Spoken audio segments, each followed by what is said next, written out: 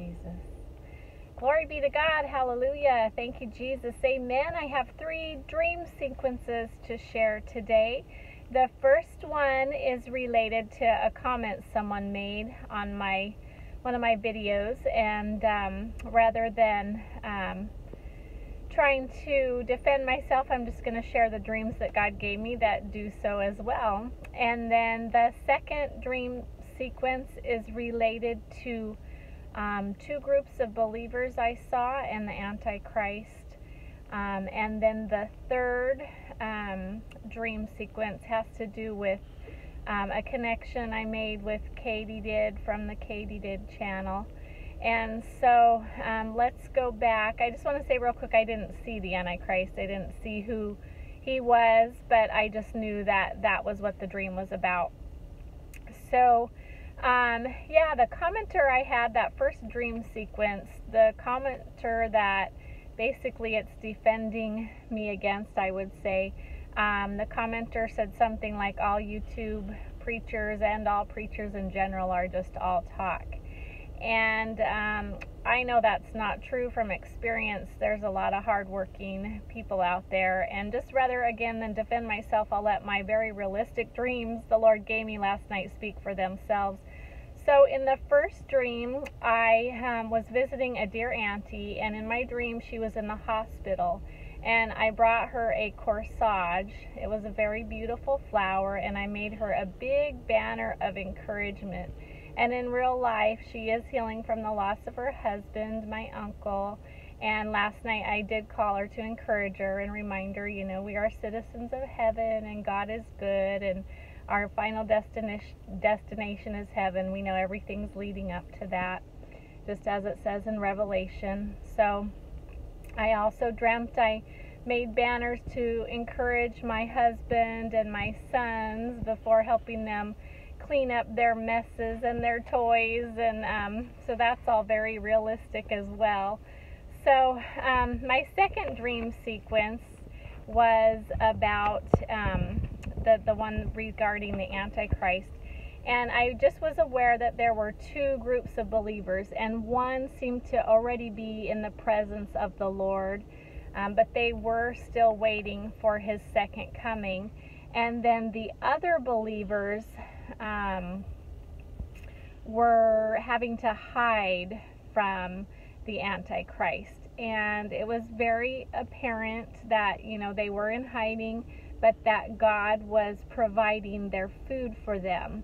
And so, you know, they had good meals, even though, you know, they didn't take the mark out of their faithfulness to Jesus. They wouldn't worship the beast or take his mark. And so, out of faithfulness to Jesus, um, they remained in hiding, and Jesus was faithful to them, and he provided their food. And it also seemed very clear in my dream that the children had already gone on ahead um, they didn't have to go through that. They were already experiencing joy. Um, in my dream, they had been like in a parade with all the colorful, you know, toys and party favor type things, is just how it was represented. They were well protected and they were full of joy, kind of like, you know, when they're with a auntie that spoils them a lot or something like that. So the children were very blessed and the believers were um, provided for by the Lord. And then my third um, dream sequence is um, it, was, it, was, a lot of fun because I had had um, I had connected with Kay Tdid from the Kay Tdid channel just briefly on her last video and in the comment section.